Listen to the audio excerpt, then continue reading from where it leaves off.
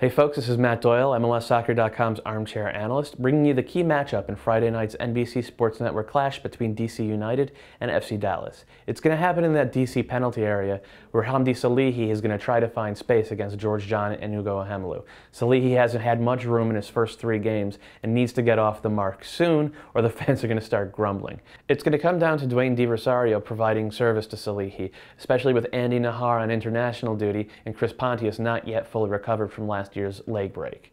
If Salihi isn't able to find space, chances are DC's woes will continue.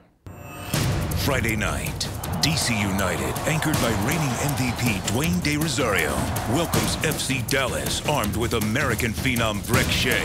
What a goal from Brek Shea! Then, on Saturday, David Beckham leads the defending champion LA Galaxy against New England to take aim at the Revs' elite goalkeeper, Matt Reis. Stunning save from Matt Reis. All rise for Major League Soccer, Friday and Saturday on the NBC Sports Network.